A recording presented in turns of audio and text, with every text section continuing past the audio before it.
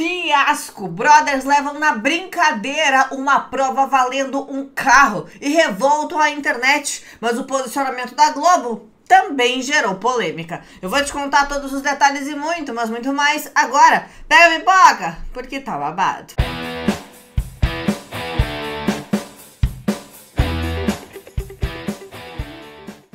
Oi pessoal, tudo bem? Meu nome é Juliana Nogueira e esse é o canal Já Contei. Hoje mais um vídeo com as últimas novidades do BBB 21 pra você que acompanha, já contei quem tem as notificações ativadas e não perde nenhum lance. Tá ligado por aqui que só hoje já foram dois vídeos no canal contando todas as tretas da madrugada, a movimentação do edredom por Carla e Arthur, o climão que rolou entre os Bastião e tudo mais, eu contei em detalhes. Pois é, contei também que era hoje, sábado, que ia rolar a prova do anjo, prova patrocinada pela Fiat e que tava valendo nada mais, nada menos que um carro todo mundo participou e teve a chance de ganhar esse carro. Acontece que os brothers já tiveram muitas dificuldades desde o início da prova, desde a explicação. Eles não estavam conseguindo entender que a dinâmica da prova era basicamente um Genius. Você sabe aquele, aquele brinquedo que a gente tem que apertar as cores à medida que elas vão que elas vão piscando. Então, essa era a temática do jogo. Mas nem a Globo soube explicar direito para eles, eles ficaram sem entender aquilo que estava acontecendo.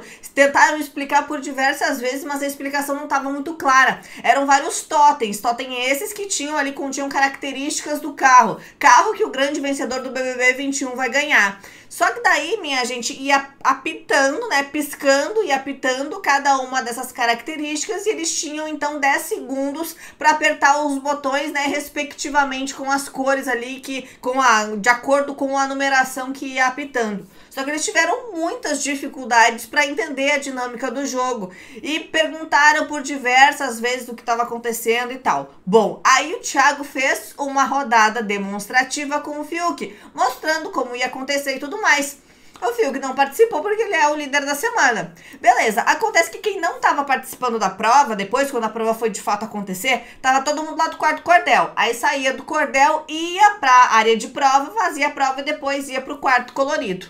Carla Dias ela já levou uma estalecada de cara. Por quê? O elenco do BBB 21 é extremamente reclamão. Eles reclamam de tudo, eles pedem o tempo todo para produção. O Boninho já tá visivelmente cansado e irritado com, com esses constantes pedidos, com essas constantes reclamações.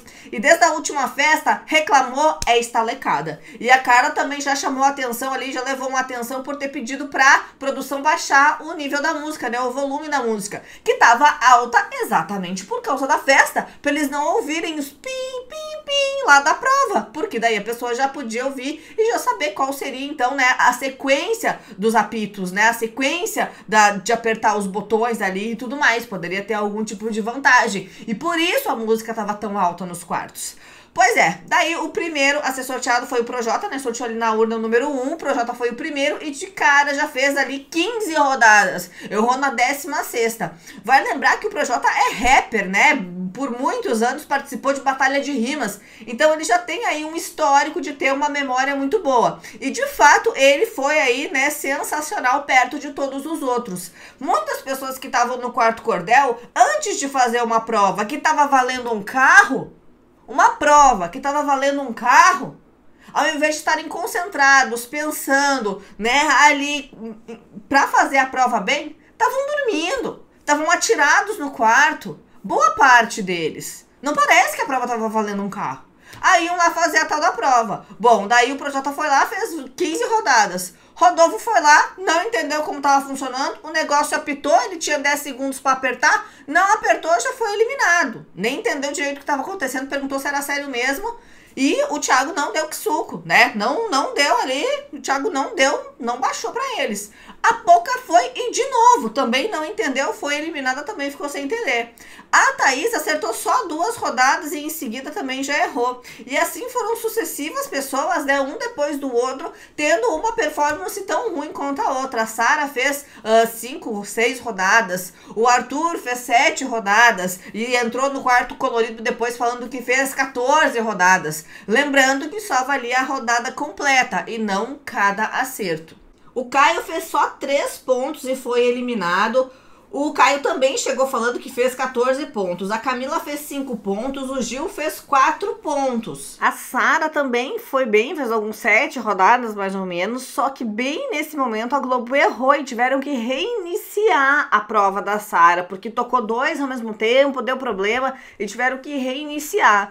Os internautas apontaram também outras incoerências na Globo, como eles falarem para para Camila depois e até para a própria Carla Dias que tinha tempo que era os 10 segundos e tal, coisa que eles não fizeram para todos os outros participantes. E aí depois também foi o João e todo mundo participou e tal, mas não teve para ninguém. Projota realmente deu um banho de concentração, de comprometimento e fez a prova super bem, levando então o anjo. Nas redes sociais, muitas pessoas estavam revoltadas com a prova, revoltadas com a performance dos participantes. E aí veio a toda todas essas questões de comprometimento com o jogo, de atenção, de reclamarem o tempo todo, de não estarem ali, foram lá para passear, tomar banho de piscina, tirar foto, ir nas festas. Não estavam comprometidos de fato com a prova. E aconteceu aí um paralelo com o elenco do BBB 20, que estava sempre pronto para as provas, focado, levava o negócio bem mais a sério do que está acontecendo nessa edição. Foi o maior babado.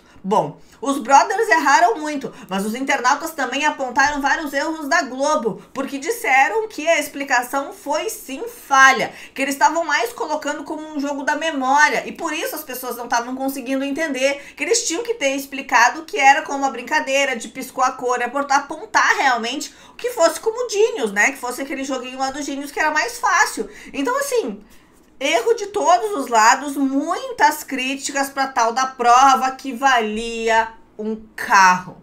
Pois é, daí merecidamente, com o seu comprometimento, o Projota acabou ganhando a prova. Acontece que ele vai dar o anjo pro Arthur. E agora Arthur não estará nesse paredão como muito se especulou. O Fiuk vai ter que se expor, vai ter que colocar uma outra pessoa que não é o óbvio que é o Arthur, como né, todo mundo já esperava. A casa não vai votar no Arthur, mas a, dessa forma o Projota acaba se expondo. E, e a gente já especula que é ele que vai pro paredão amanhã, domingo.